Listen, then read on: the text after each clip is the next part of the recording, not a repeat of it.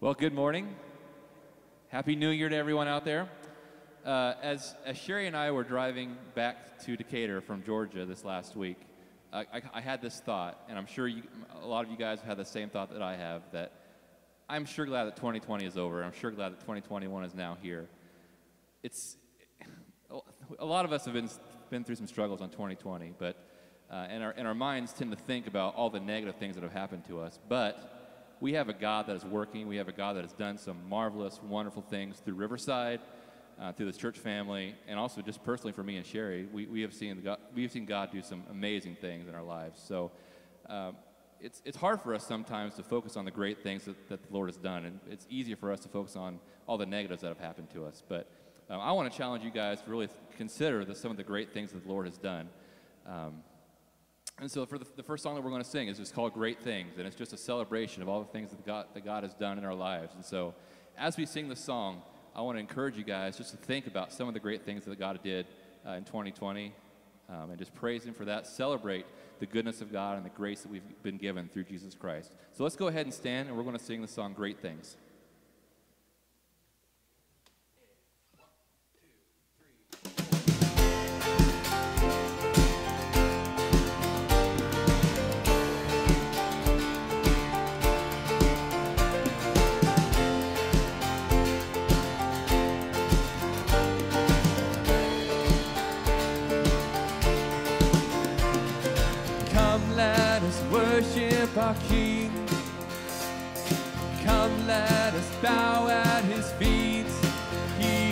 Done great things.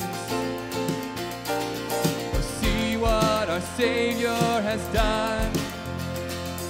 See how his love overcomes.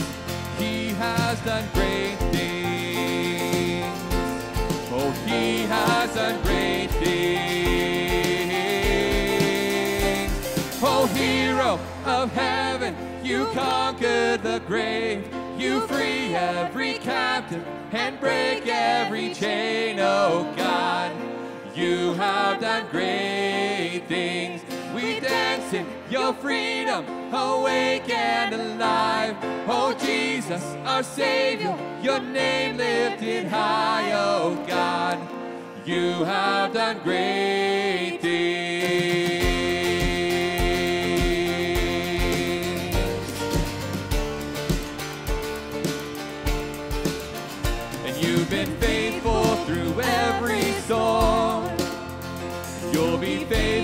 forevermore. You have done great things. And I know you will do it again. For your promise is yes and amen. You will do great things. Oh God, you do great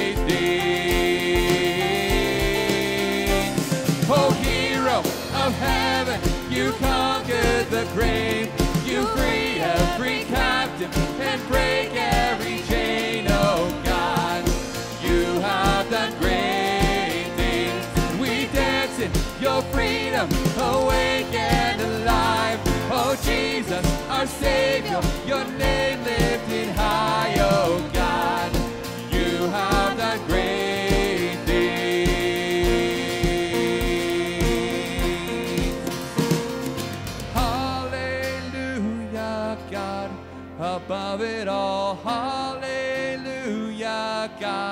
unshakable. Hallelujah, you have done great things. Hallelujah, God, above it all. Hallelujah, God, unshakable. Hallelujah, you have done great things you've done great things. You conquered the grave. You free every captive and break every chain, oh God. You have done great things. We dance in your freedom, awake and alive. Oh Jesus, our Savior, your name lifted high, oh God. You have done great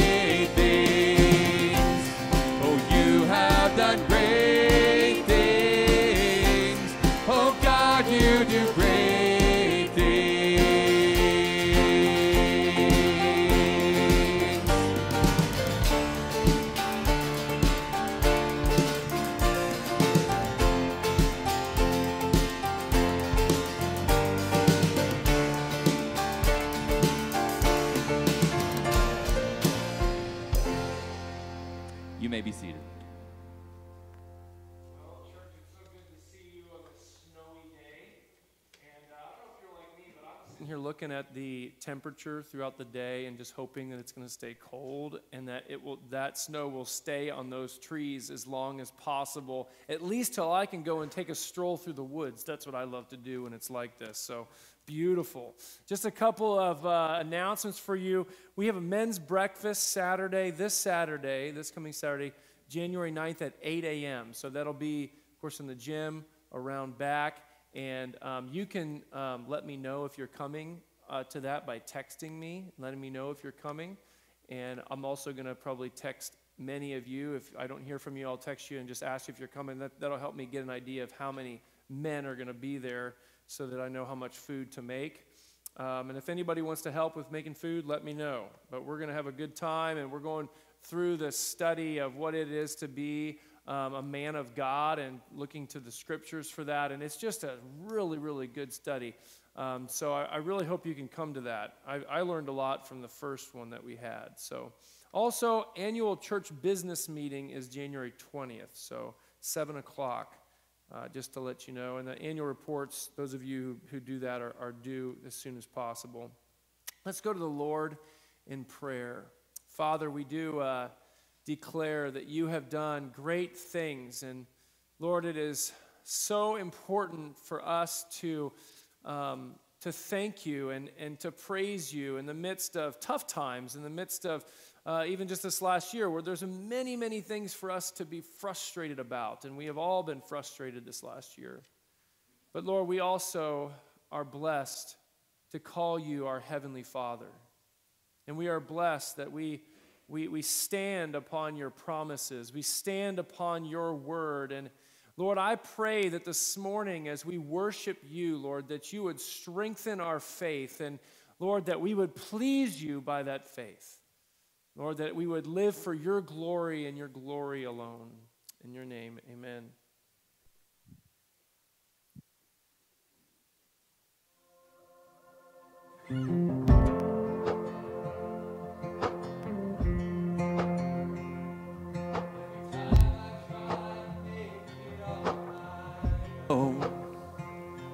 Every time I try to stand and start to fall, and all those lonely roads that I have traveled on, there was Jesus.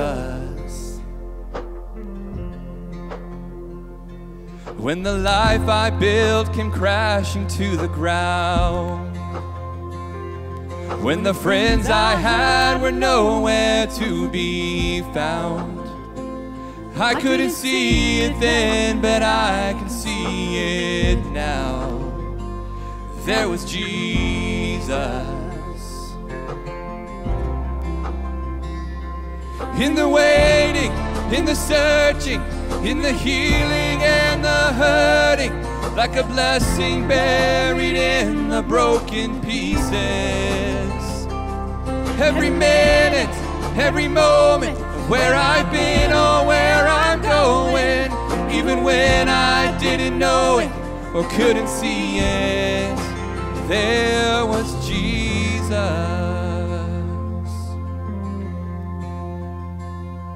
For this man who needs amazing kind of grace, for forgiveness at a price I couldn't pay. I'm not perfect, so I thank God every day. There was Jesus. There was Jesus. In the waiting, in the searching, in the healing and the hurting, like a blessing buried in the broken pieces. Every minute, every moment of where I've been or where I'm going,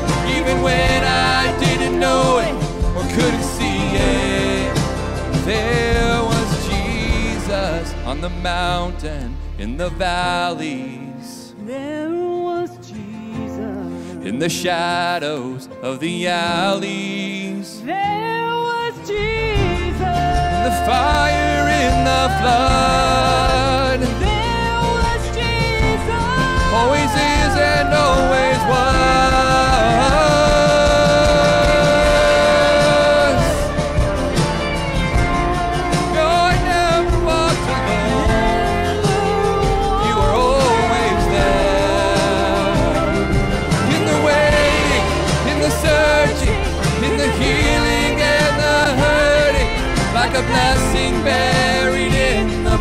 in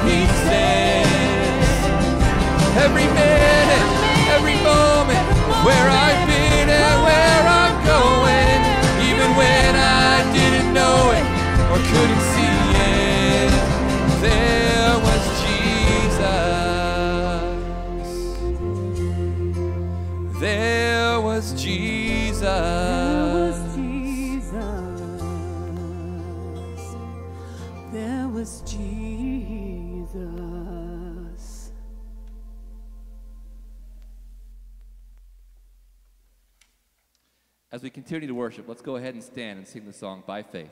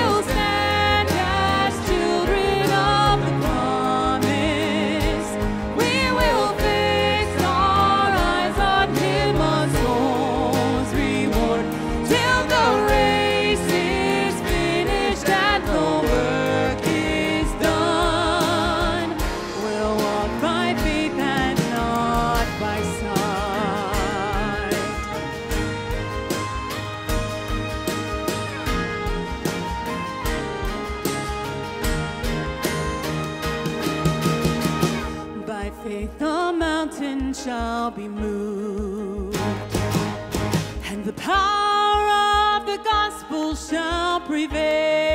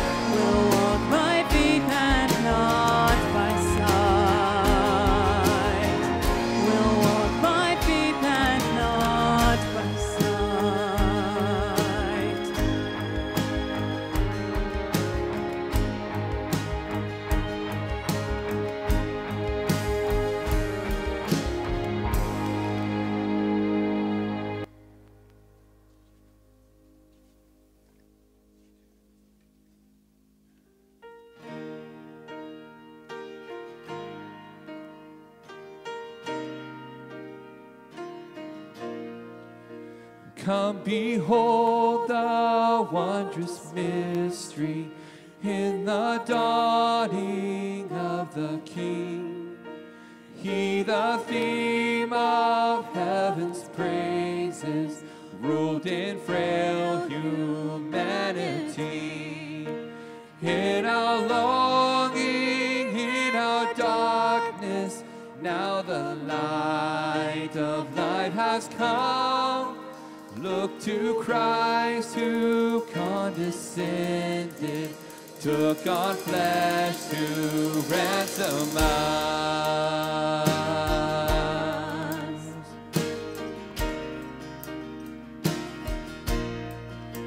Come behold the wondrous mystery, He the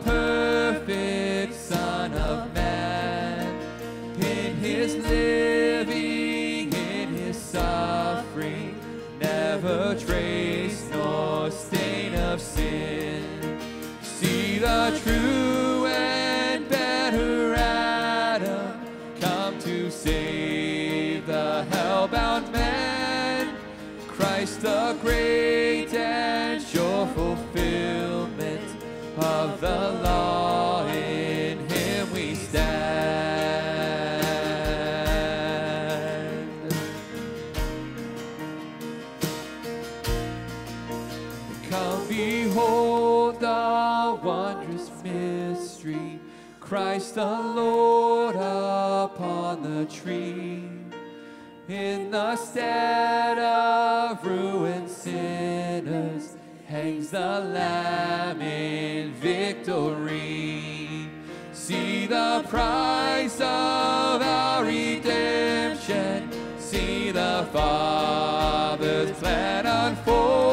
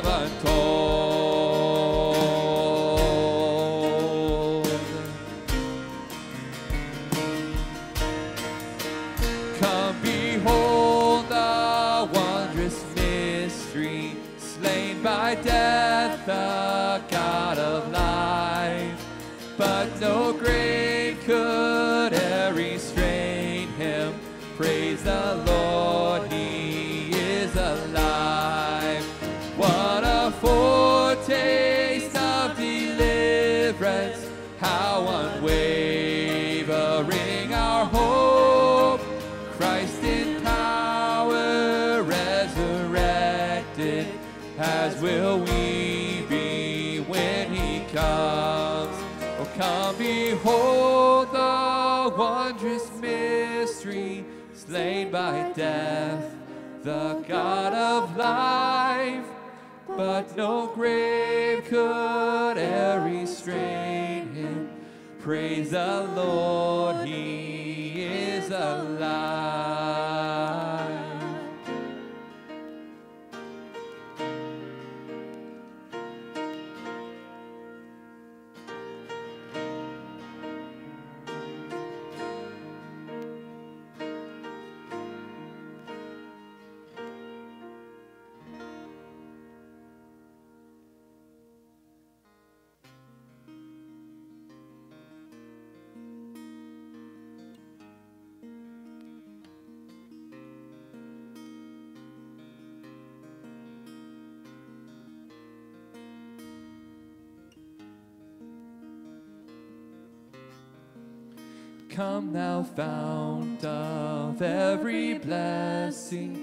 tune my heart to sing thy grace.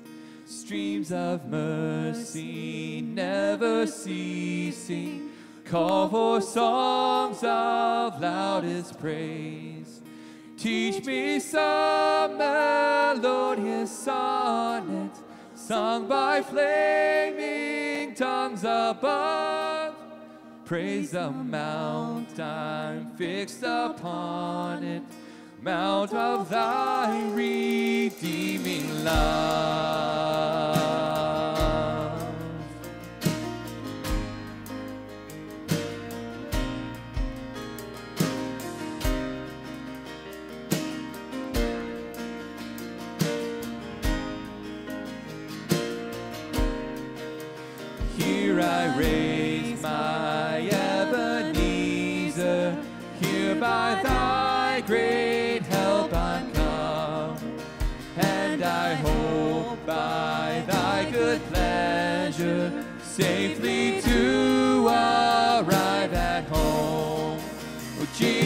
Sought me when a stranger, wandering from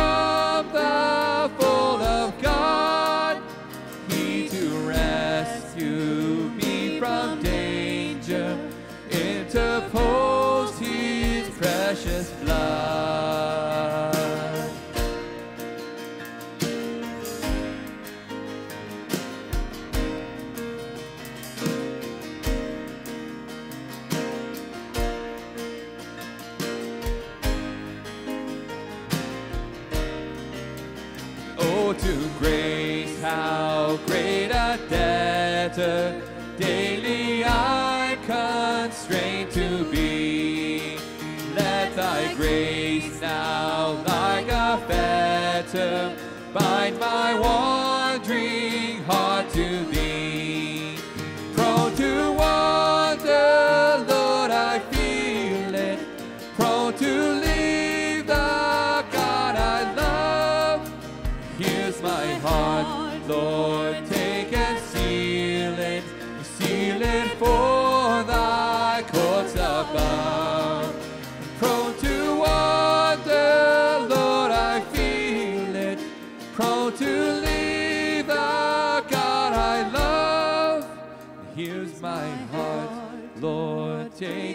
seal it, seal it for thy courts above. Here's my heart, Lord, take and seal it, seal it for thy courts above. And here's my heart, Lord, take and seal it, seal it for thy courts above. Be seated.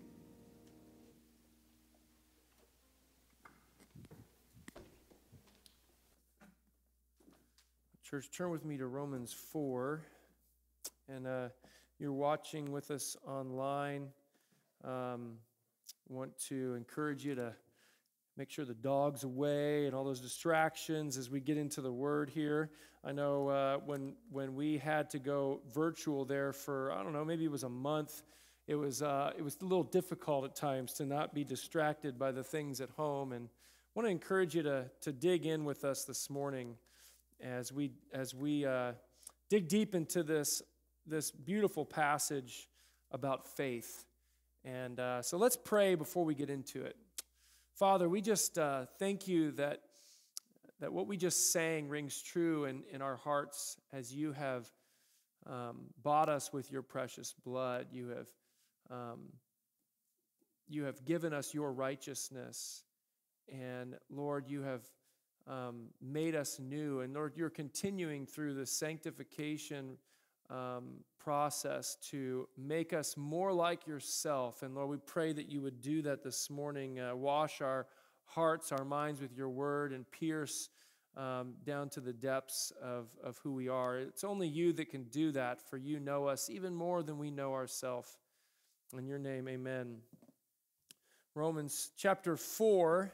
We're going to focus on specifically verse 13 this morning, but I want to read through this whole section and kind of give a feel for what's going on in this whole section. And we're going to be in this for the next uh, about month and a half.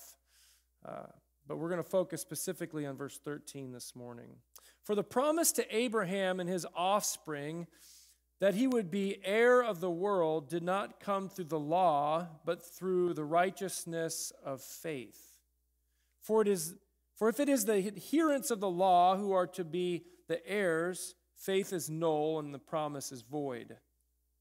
For the law brings wrath, but where there is no law, there is no transgression. That is why it depends on faith, in order that the promise may rest on grace and be guaranteed to all his offspring, not only to the adherents of the law, but also to the one who shares the faith of Abraham, who is the father of us all. As it is written, I have made you the father of many nations, in the presence of the God in whom he believed, who gives life to the dead and calls into existence the things that do not exist. In hope, he believed against hope that he should become the father of many nations. As he had been told, so shall your offspring be. He did not weaken in faith when he considered his own body, which was as good as dead, since he was about a hundred years old, or when he considered the barrenness of Sarah's womb. No unbelief made him waver concerning the promise of God, but he grew strong in his faith as he gave glory to God, fully convinced that God was able to do what he had promised. That is why his faith was counted to him as righteousness. But the words, it was counted to him, were not written for his sake alone, but for ours also.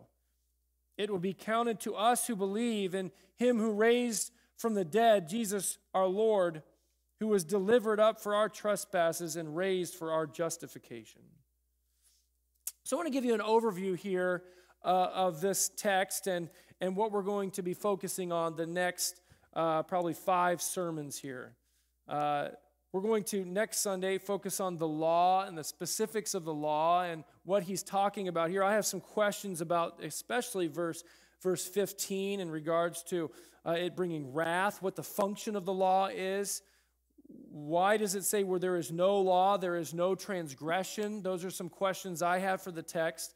And then we, we go from that out of verse 15, we'll get into verse 16 through 17, which is God's promises that unite Jews and Gentiles into one people for God. And I think I'm excited to preach on that because I think of how disunified our, our, our country is, even on, uh, on race and, and ethnicity and culture. And, and yet we don't see that in Scripture. We see God wanting to unite all of that.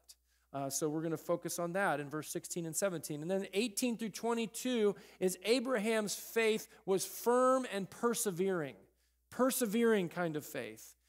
And then 23 through 25, which is a foundation of Christian faith. That's like the foundation for the Christian faith. This morning, it's all about God's promises based on faith. Notice in verse 13 how Paul explains to the church then and now that the promise to Abraham and his offspring was that he would be the heir of the world. Did you catch that? The heir of the world. That Abraham would have the entire world and his offspring. And when I looked up that word offspring, I had to, I had to ask myself, okay, is that plural or singular? Uh, because in the Old Testament, when there's a promise made to Abraham that through, the, the, through your offspring, the world, the entire world will be blessed, he uses the word singular for offspring. Jesus, specifically, through your one offspring, the whole world will be blessed. And here in, in verse 13, he uses the word plural for offspring. In fact, the NASB translates it as descendants, plural. So, Abraham and you and I, his offspring, descendants of Abraham, Father Abraham, all of us have been grafted in, Gentiles grafted into God's family through faith. Because of faith, we are also offspring of Abraham's original faith that was credited to him as righteousness. Now we have that righteousness credited to us, and we are sons of the King of Kings and it all came down, passed down through Abraham. That's what he's getting to here. So we are all heirs of the world. What? What does that mean? I, I, I really wanted to dig deeper into that. So, what we're going to do is we're going to spend uh, this morning going into a lot of different scripture passages um, because we want to use the scripture to understand what Paul is getting at here both Old and New Testament. So the first one that comes to my mind is Revelations 20, verse 4. Revelations 20, verse 4. It says this this is talking about the millennial kingdom, the thousand year reign of Christ on this earth with his people. In verse 4, then I saw thrones, and seated on them were those to whom the authority to judge was committed. Also, I saw the souls of those who had been beheaded for their testimony of Jesus and for the Word of God, and those who had not worshiped the beast or its image and had not received its mark on their foreheads or their hands, they came to life and reigned with Christ for a thousand years. Reigning with Christ for a thousand years, even judging the world during that time. Then you can go back to uh, 2 Timothy 2.12 real quick. It just says this, if we endure, we will reign with him. He's speaking to the church and the church age church age. If we endure and we persevere in our faith, as Abraham did, notice that in Romans it talks about his faith persevering. In verse 20, it says that he grew strong in his faith. Abraham grew strong in his faith. It was a faith, a persevering faith, an authentic faith. And, and, and 2 Timothy 2.12 says that if we endure, we will reign with him. Daniel 7 is another big one. Daniel 7, verse 27 says this Then the sovereignty, power, and greatness of all the kingdoms under heaven will be handed over to the holy people of the Most High. His kingdom will be an everlasting kingdom, and all rulers will worship and obey him. So, God's people will rule with him and, and under his sovereignty in this new kingdom where all of the world will be under it, and it's a kingdom that will go on forever. That is a powerful statement. Matthew 5 5, Jesus says this in the Sermon on the Mount Blessed are the meek. For what? They will inherit the earth. Think about that for a little bit. Inherit the earth, inherit the entire world. That is a that is a, a statement that should cause us all to stop and go, what does that look like? What is that going to look like? And there's some mystery in it. I haven't gotten it all figured out because I'm not there yet. Someday we'll get to experience that as the church. We will reign with Christ in this world. And it'll be a world that'll be different than we see today. Satan will be bound for a thousand years, it says in Revelation 20. And that, and that he won't deceive the nations anymore. I believe also that during that time, after the tribulation, those who survive the tribulation, kids of, of, of those people will be born during that time, and there will be a chance for people to even rebel, but not under Satan's influence. Rather, it will be almost like in the garden, but even without Satan there, well, everything will be perfect. This world will be restored. And, and, and people will have a choice to pick between following God or going their own way. And it's amazing to think that people would even go their own way during that time. It shows that even if things are perfect, people still go their own way, even if things are perfect. Now, there's a lot of mystery here on this because uh, it's just a, a, a, it's hard for us to imagine what that's going to be like as I was reading on this through the prophets, um, when I studied and preached on Revelation, uh, there was one part in one of the prophets that really stuck out to me, and it, it was talking about how there will be um, justice that will be dealt with very swiftly during this time, very swiftly, and that if someone dies, it will be like, uh, if someone dies at like 100 years old, it will be like they were accursed. So, what it's saying is that if anybody dies during that time, then it'll be because they sinned. It would be because they rebelled, and there will be justice, there will be swift justice on that person that is, is rebelling against this kingdom of God that will dominate the earth. Luke 16:10 says this, one who is faithful in very little is also faithful in too much. Luke 19, 17 says, Well done, good servant, Jesus said, because you have been faithful in a very little thing, you are to be an authority over 10 cities. Matthew 25, 23, his master said to him, Well done, good and faithful servant. You were faithful with a few things. I will put you in charge of many things. Enter into the joy of your master. Guys, heaven is not going to be, the millennial kingdom, the new heaven, the new earth, is not going to be us just sitting around bored you know, singing kumbaya for thousands of years. It's going to be a time where we're going to be worshiping Christ, but we're going to be worshiping Him just like we do now with our lives and how we live. but it's going to be a time where there won't be death anymore. The new heaven and new earth. And this reigning that we will have with Christ will be a time where everything that we long for in this earth will start to come to fruition in that time period. For example, I don't know about you, but I get tired of corrupt politics. Do you? I get tired of this stuff. I get tired of not knowing who I can trust. You know, this time, Christ will reign on this earth and we can trust him fully. And, and there won't be any injustice. There won't be any wars going on during that time. It will be a time of perfect peace where saints will reign with him and we will get to be a part of what he is doing on this earth tangibly and we'll see it every day. We see it now, but this is just a taste of what it's going to be like. Man, that's going to be awesome. I think of missionaries like Amy Carmichael, who served in India who, who left her family and served in India for 55 years without furlough. Can you imagine that? 55 years without fur, furlough, starting an orphanage for little kids, loving on kids, pouring out her life for others. And she was faithful in very little. She had a powerful government over an authority over her in India. But you know what? Someday she's going to be ruling with Christ. Wow.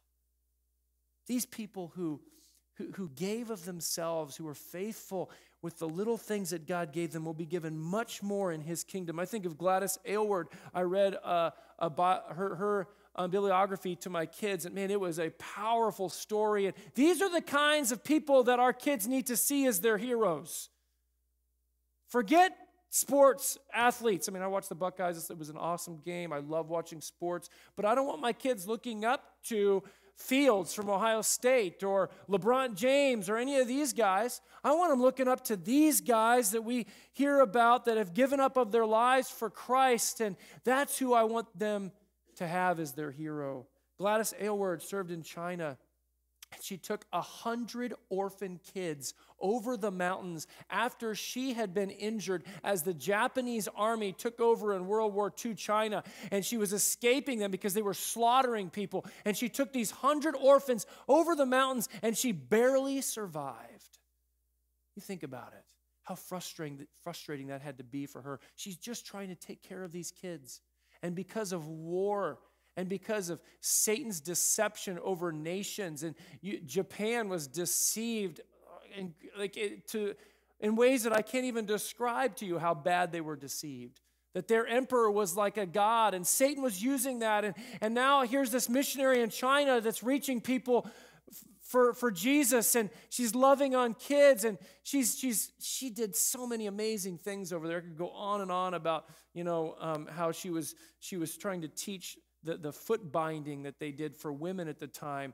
And if you study into that, what they did in China, it is crazy. It crippled women. And I don't know what perversion caused men to do that to women, but that's what was happening. And she, she, she was freeing the culture from that. She was doing so many amazing things in the name of Christ. And then this the Japanese army comes in and she has to flee over mountains with a hundred orphans. And can you imagine the frustration that she would have at that point? Trying to serve Jesus and this government is there's war going on and it's completely outside of my control. Well, someday she is going to be able to rule with Christ in a world that's much different than that. I was talking to my brother in law about the mega rich, you know, in the world. And Amazon, uh, founder of Amazon, do you know how much that guy's worth? He's way surpassed Bill Gates. $291 billion this guy's worth. I mean, I like Amazon, it's great. We have like super powerful, rich people in this world, and and, and you know what? I, I, like it that people can can can become rich, but you know what, you guys? I look at that and I go, if I were to look at this world from this is all I've got, and there's nothing after this, and there's just it's just secular, it's just material, there's no soul, there's nothing else, then really it's kind of depressing to think that all I've got is just this little bit. What about people that live in third world countries that I talked about last week, like that Haitian guy who was praising Jesus and singing, I'd rather have Jesus than silver or gold? What about those people? Church, someday I think that those people will have more than some of these people, way more than some of these people in this life. It's amazing to think about that. The rewards that heaven is going to bring, the rewards that, that, that we are going to have as followers of Christ, and that we our inheritance is the world.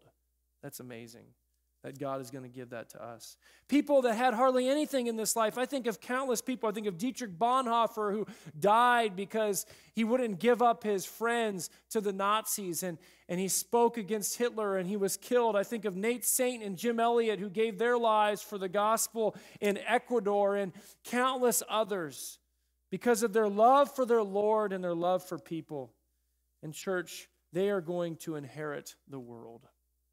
That is their reward. But over than that, the reward is God Himself in a relationship with Jesus, reigning with Him. Reigning with Him. Wow, that is powerful truth to dwell on. But how does this get unlocked? How do we get this? Well, it's clear here through what? Through the righteousness of faith. Through faith. Faith is what unlocks these promises of God and our inheritance. Faith unlocks that. So I'd like to spend some time just giving a brief theology of faith. And I, I, I like to use that, that, uh, fair, that um, Jewish uh, mindset of a spring of, of pearl, uh, or sorry, a, a string of pearls, where you string together a bunch of passages to make this theology. And, and so um, the best one to go to first is Hebrews chapter 11, verse 1, right? Hebrews chapter 11, verse 1. You can turn with me there if you'd like. This is, a, this is the faith chapter of the Bible. If you're wanting to know what faith is, you turn to Hebrews, Hebrews 11. It starts out with this statement, and then it gives all these examples of people who, who lived this way. Hebrews 11, 1. Now, faith is the assurance of things hoped for, the conviction of things not seen. Now, I just want to unpack that a little bit here. My question is those two words, assurance and conviction, what do those words mean? I want to know what those words mean because he's saying specifically they are assurance. Faith is this it's the assurance of things hoped for, conviction of things not seen. This key word, assurance, in the Greek is hypostasis hypostasis, and it means confidence. Confidence. The root word for that word is histemi, and it means to stand, to stand on something, to be immovable. Um, William Arndt wrote about uh, this word in the Greek English lexicon of the New Testament. And I really like how he described this word and the word conviction. He says that in classical Greek, the Greek person would have understood this word to mean just reality in contrast of what merely seems to be. Get that? This is reality. Faith that he's talking about here is a faith that believes that God is reality that Jesus died for my sins, and that's a reality, and that God is going to restore all of these things someday when He returns again, and that is a reality, and that's what his script, the scriptures say. I don't care what your views are on the end times, all of us agree that Jesus is going to return someday, right? And eventually, this is all going to be restored. The timing of that, everybody looks at it differently, but we all believe that God is going to restore this world. And, church, don't you want that kind of faith? The faith that really believes that this is a reality? It contrasts with what merely seems to be. What do we, what things seem to be sometimes for us? When your dad has cancer, when things are rough in this world, Satan wants to use those rough times and shake your faith to make you think that it's all just brokenness, and life is just chance, and we all are going to get some disease that's out of our control someday and pass away. And you gaze into that, and it erodes away at your faith. But for us as believers, we gaze into that and we see what God has in store, and we see His Word, which teaches us that these things are going to come. Now, if God were to say, You follow me, and everything's going to be good, and you're not going to have cancer, and you're going to have just a, a, a wonderful, prosperous life, and you're going to get rich like the guy, maybe kind of like the guy from Amazon or whatever. Then we would have question to go, well, maybe this is all a bunch of baloney. But we don't see that, do we? So we choose to base our faith on reality, the realities of what God's word says to us. This word conviction is elenchos, and it means proof or rebuke. Rebuke and proving, almost like in a court of law. The classical Greek definition is this there's two definitions actually. One is the act of presenting evidence for the truth. Presenting evidence for the truth. We, church, as believers, are supposed to be presenting evidence for the truth with our words and with our lives, with how we live. We are so convicted by this truth that we want to present it and the evidence that we have for it that this is a reality. The other definition is this the act of charging a person with wrongdoing. I tend to look at it that way, this way. Charging, proving, evidence for. I'm so convicted about this that when I look at something that seems to question it, seems to push against it, a satanic lie from hell, like cancer is bad, and so therefore life is just rough and God may not be good after all. I preach truth and I convict that, that, that belief that it's wrong. I charge against that belief with the reality that comes from God's word. That's what he's saying here. This is a conviction deep in your soul that this is true and that nothing can shake this. 2 Timothy 4 7 says this I have fought the good fight, I have finished the race, I have what? I have kept the faith. Faith is persevering, church. Faith perseveres. True, authentic faith perseveres. James says that even the demons believe and shudder, right? So, what I want is I want true, authentic faith, not just words, not just I believe in God. I want what is true, authentic faith. And that's what we see being described here in Hebrews chapter 11. Church, faith is a big deal. It's a big deal. Why is it a big deal? Because of a couple facts that the scriptures say about faith. We inherit the world through faith, as I just said, as we just were seen, we're shown here in Romans. We inherit the entire world through faith. That's how we get it. We are saved through faith. By grace you have been saved, Ephesians 2 8, through what? Faith. Faith is a big deal. We are saved through it. Your faith in Jesus will move the mountain of sin that separates you from God. That's how powerful faith is. It removes the mountain. God uses it. It's what the vehicle by which God gives us his grace and his mercy. God acts on our behalf through faith. And there are countless stories in Scripture where we see this. Hebrews 11 11. We're in Hebrews 11 11. It says, By faith, Sarah received power to conceive. And that goes along with this Romans text. By faith, how did she have children? How did she have children? By faith. That's how she had children. Through her faith, God gave her this gift this miraculous gift of a child in her old age. God acts through faith on our behalf. Hebrews 11:6 says this, you can it says that you can only please God through faith.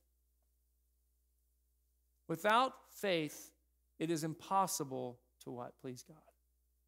So, if you want to please God, you got to have faith. So, if faith is such a big deal, I want to ask this question then how do we grow it? What if you feel like your faith is small? What if you have a hard time looking at those frustrations in life? Why this and why that? And it's, it's difficult to see what God is doing. Church, I often look at missionary stories and how much they gave up for Christ, and I feel like my faith is this big. Do you feel that way sometimes? I hear about these people who give up their lives for the gospel and leave their family, never to see them again, especially back in the day when they didn't have airplanes. They would just go on a boat and they would go to China to save people with the gospel. And they would leave their family. And I go, I, I hope that I would have enough faith that if God called me to do that I would do it. How do I grow this faith? How do I get to that point where I'm ready to say, Lord, whatever you have for me, I will do it? I think the scriptures are full of truth for us that want that kind of faith. Luke 17, 5, the apostles asked this of Jesus. They said to the Lord, Increase our faith. Increase our faith. Church, we should all be wanting that. We should all be asking God to increase our faith. Want more faith, Jesus, because that's how I'm going to please you. That's how I'm going to be obedient to you, is through faith. How do we do this? We should want to do it. You think about it, church. When something is extremely valuable to you, you work to protect it. Don't you? Look at all what faith does to us. I hope that faith is valuable to you. You got to work to protect it. I went on this pond tour a while back, and I went to this pond and in Chicago, and this guy had a, over a million dollars invested in this pond. And you're like, who does that? A guy who has $30,000 fish. And I don't know why fish are worth that much. It's crazy, right? But he has these fish. They're like these huge koi fish. They're like this big, and, and the water is just perfect. And the environment for this fish is perfect, so they can just keep getting bigger and bigger. And every every bit that they get bigger, the more they're worth, you know. And so people come, it was just crowded with people seeing these fish and seeing this pond. You know, why does he do that? Why does he spend millions of dollars on all the filtration and, and all that goes into maintaining this, this amazing pond? Because he has these fish that he wants to protect and he wants them to, to flourish. And church, that is how it is with anything in life. You know, Heidi, she has this ring, she has this uh, engagement ring that I got her and it's a nice ring. I, you know, back I wish Brianna was here so she could tease me. Um, you know, she loves it when I mention the steel factory because she's heard the story so many times. But I worked at the steel factory, made good money, so I got Heidi a really good engagement ring. Problem is, it now is too loose on her finger, and so and so it just slides off really easily. So she got this fake like cubic zirconium ring, so she could have an engagement ring on and has put that one in the, ju- in the jewelry box until she can get it uh, until she can get it sized because she's so afraid that she's going to lose this ring you know? She's protecting it. So how do we protect our faith and, and help our faith grow? How do we strengthen it so that it flourishes?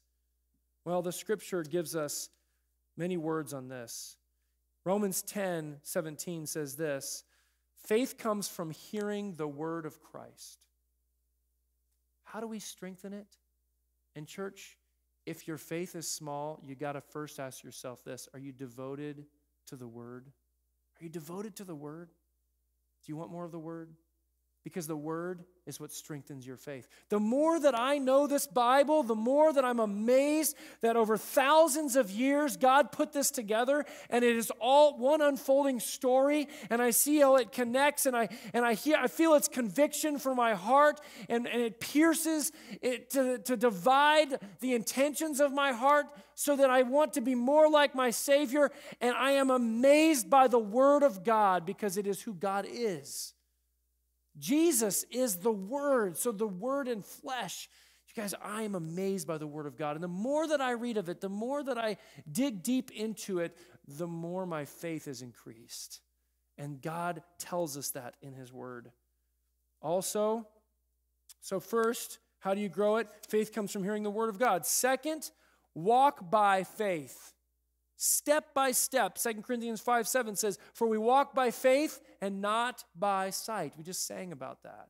We walk by faith and not by sight. Anyone that I know who has very strong faith, it's like they intentionally look at every step in life as what is God doing now? What does He want me to do? Every little step is a step with Jesus, is a walk with their Lord.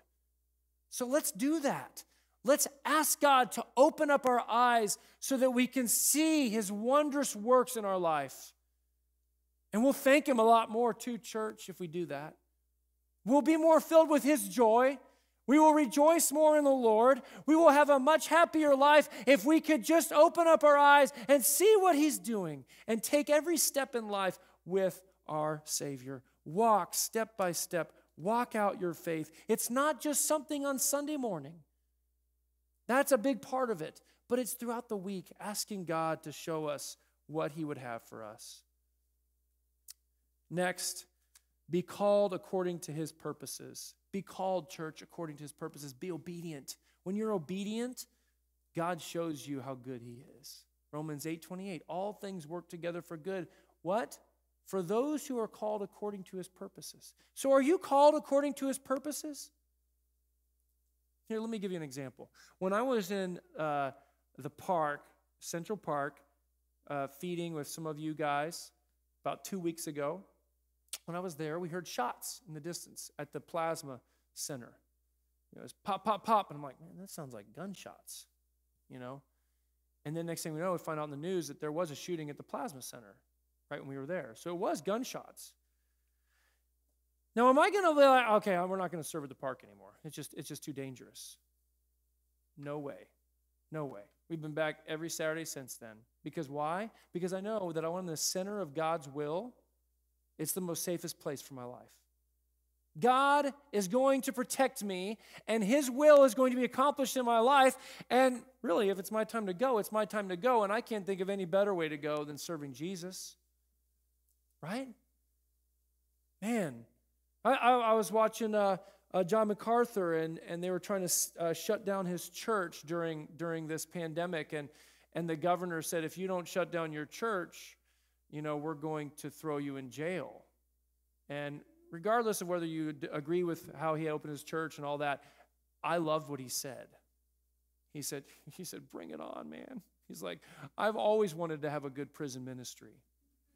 His, his, his, his greatest hero in Scripture is the Apostle Paul. You know? And so he's like, I'm, I'm, I believe we need to have, we need to be ministering to people during this time, and, and we're going to open up our church. And if you want to throw me in jail, then fine. So be it. I like his, I like his guts, his confidence that the Lord can use him no matter where he goes. That is, that is faith, church. That's faith. That's bold, courageous faith that doesn't cow to anybody.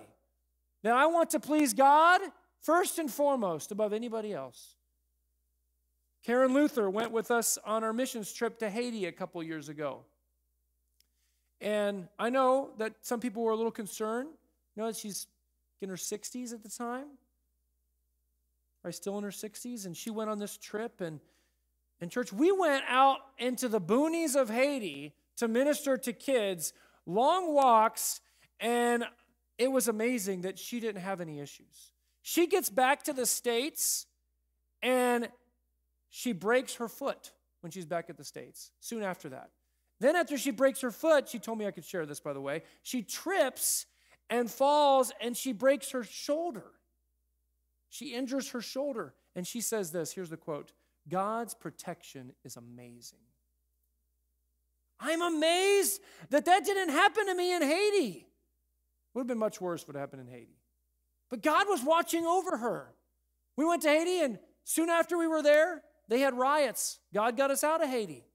It's amazing to me. I want to show you another a video of, of my father, and, and he, he, you know, many of you know he was in a plane crash. This is a news video, and I love what is addressed in this video. So watch this real quick. Escaped death in a fiery plane crash returns home tonight. He was flying a plane belonging to a missionary group called Air Mobile Ministries when it crashed in the Bahamas. Anita Smith met him in Titusville as he came home to tell his story of survival. She is live there right now. Anita? Well, Marla and Todd, the group of five was headed to the Bahamas to help the many Haitians who flee their homeland and arrived there with absolutely nothing. The group was minutes from landing when danger hit. It's a miracle I'm here. I just praise God for it. I get a couple of guys to carry me to the car here. Tim Hahn's broken bones are a small exchange for life. He could have died in this plane crash. The day after Christmas, Hahn was piloting the Cessna 401 to the Bahama Islands. Almost there, the plane's engine lost power. Just did not make the runway. Went into the trees, and we made a control landing into the trees, and um, That's all I remember. Because Hahn remembered his training when it counted, his four passengers also survived. They're all missionaries with Air Mobile Ministries, a Titusville-based group headed up by Joe Hurston. Honestly, will not believe what five people walked out of. You just won't believe it. Some pieces of the plane and the pilot are home. Hurston says two of his missionaries are still there, helping people by showing their film about Jesus. I flew a plane over there today to pick them up, and they said, "Why, you know, why are you picking us up?" and I said, "You, you just walked out of a fireball and survived a plane crash." And they said, "Well, we came here to show the film and, and, and to minister with the Haitians, and that's exactly what we're going to do." Tim Hahn will spend the next month or so recuperating, but says he'll be back to help soon. I feel great. I just, it's amazing. I just praise the Lord that He's not finished with me. Um,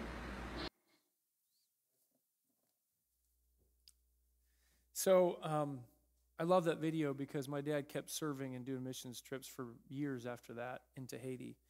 And he's the one that always told me, you know, when you're in the center of God's will, you're in the safest place possible.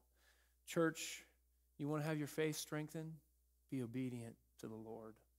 Be obedient. I want to ask you this year maybe this is a New Year's resolution for you. How can you be obedient to the Lord? How can you be committed to His Word?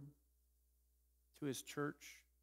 Jesus said, I'll establish my church, and the gates of hell will not prevail against it. I, I, I know that some things are going to be changing in our church as we start to get back together. Once the as the pandemic starts to die down and we start to see more and more people come back we're excited we're looking forward to that and we want to be prepared. And one thing that i know before this pandemic happened i, I felt an angst about the fact that our church many people didn't know each other. The early church ate together like every time they got together. This is something that I want to start doing more. I don't know how often we're going to do it, but it's going to be way more often than we used to. We're going to eat after church together. We're going to talk about the message. We need to be in each other's lives. That we love each other and we get to know each other. And, and I want to encourage you. Maybe God's called you to serve in that way in some way. Maybe God's called you to serve in outreach ministries like we do in the park. I'm so glad we do that consistently. Like my brother Charlie, I love, man, I just love hanging out with you, bro. I mean, he just comes consistently, and his smile just just uh, just cheers me up every time I see him. And so God's working through that, and and maybe God has more for us to do in outreach. I don't know, but I want to be obedient, and I want to ask you, how can you be obedient? Maybe it's not that. Maybe it's it's some other form of fellowship ministry in the church, men's ministry, women's ministry, children's ministry. There are needs in the church. And I want to encourage you to be praying about it and poised to ask the Lord, how can I be obedient to Jesus through this time? Next week, we're going to get into the promises of God. Um, I had that today, but I don't have enough time for that. We'll get into that next week, and I don't want to rush through it. Uh, but let's close in some prayer, okay, church? Let's close in some prayer. Father, we just thank you that Lord, you've given us all that we need to strengthen us during this fight, this journey in this world. Lord, you have equipped us with your word and with the Spirit and with your church. Help us to, um, to be obedient. And use us, Lord, to impact a world that desperately needs the faith that unlocks all of the hope and the promises and the blessings that come from a relationship with you. In your name we pray. Amen. 1 Thessalonians says this Now may the God of peace himself sanctify you completely, and may your whole spirit and soul and body be kept blameless at the coming of our Lord Jesus Christ. He who calls you is faithful, and he will surely do it. Amen. Be blessed, church.